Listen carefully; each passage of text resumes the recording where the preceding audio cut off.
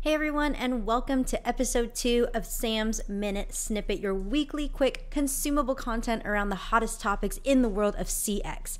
Thank you to all of those who commented on last week's post. A hot topic that came up in those posts, uh, personally, is one of my favorites: is how artificial intelligence is used in the contact center. So let's dive right in.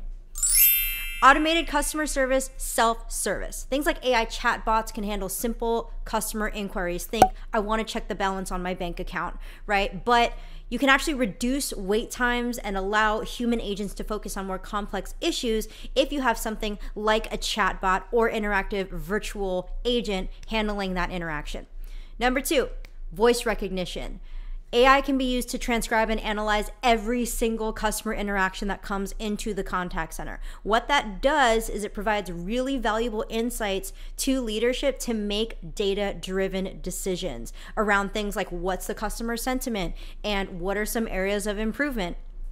Third, predictive analytics. Yes, AI will be able to analyze your data and predict what you are potentially calling in about. If you just ordered something, it's probably going to prompt you and say, "Hey, are you are you interested in learning more about where your order is right now?"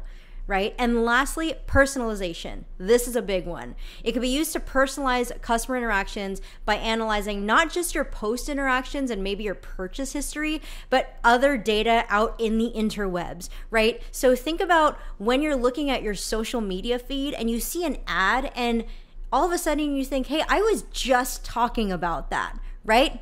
Creepy. Um, that is not by accident. There are bots out there that are literally scraping data around you and your digital footprint, right? So, again, AI is not here to replace humans, it's here to optimize CX operations. And so, generally, it'll help contact centers do a few things improve efficiency, reduce costs, and provide more personalized service. Tell me I'm wrong. I'd love to hear your thoughts on this in the comments below. And don't forget to mention what you'd like to see in next week's Sam's Minute Snippet. Have a great week.